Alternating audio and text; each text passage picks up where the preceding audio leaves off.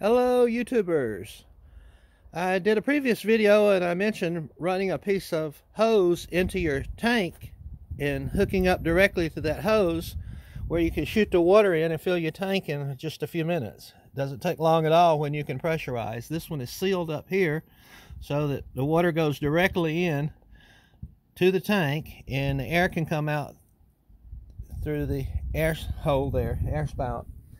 And when I pull up, I got hose wrapped up behind the tire here.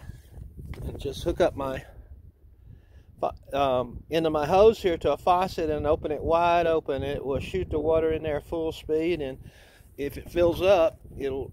If you don't cut it off before it fills up, it'll usually start gurgling a little bit. The water will start shooting out here when it's full.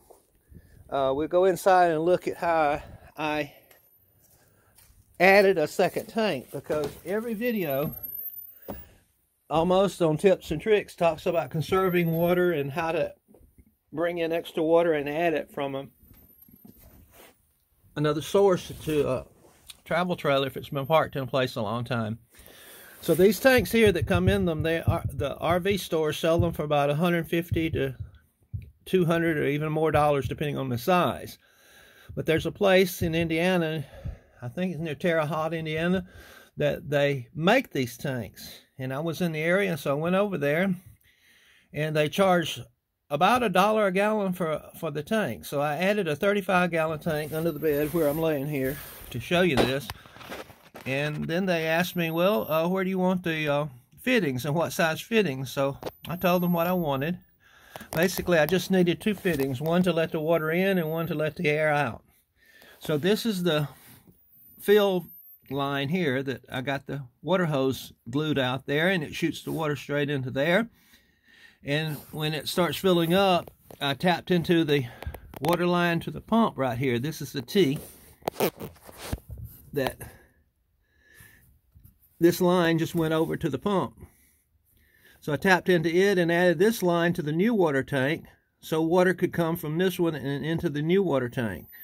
And then I went up to my my air um, line that lets the air out and added a valve. Of course, I, I tapped into the top of the tank that I was adding to add the air line. But I put a valve in here, and when this tank here gets about 90% full or 80% full, I can turn the valve and shut the air, lock the air where the air can't get out here. It has to go the water that goes in has to is pressurized and has to go in through the T and fill the other tank. And then when it fills the other tank, this line, return line here for the air vent will go back out and you can see that they're both full. If you do this and fill them both up, it's a good idea to go ahead and run about 20 gallons out of it and lower them a little bit and put it in your uh, black water tank so it will function properly.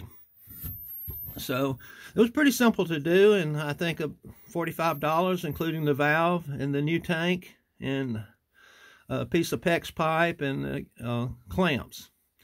And that worked very good, and I, I could go, also, I was surprised, I could fill all this up two times, and the holding tanks would hold it.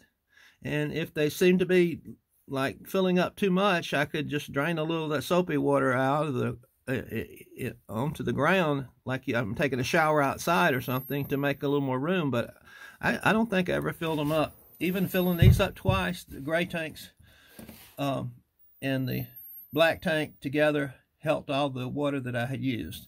While I'm in here, I want to show you another thing.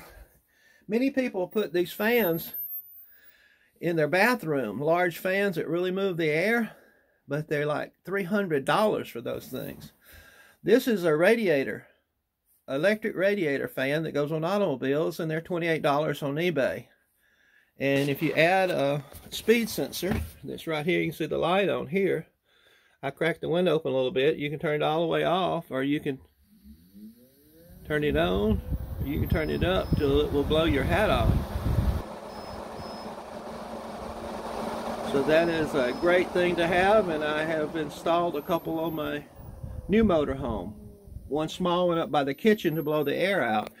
And I always like to blow the air in because you can make only only thing you need to do to make this reversible is to switch these wires right here. If you switch them, it will run the other direction. But I'd rather blow fresh air in because if it's blowing the air from inside out, it's going to pull water, uh, water. It's going to pull air, warm air from under the refrigerator and other places that may be warm in there. So you really do better by pushing the cool air in. And uh, that is a money saver, but it, as soon as it you park and it starts to get later in the evening, if you turn that fan on and blow all the hot air out, your air conditioner won't have to work nearly as hard. If you run it, or if it's not really hot, you can probably uh, do pretty well just with a fan here. Okay, that's all I got on this one.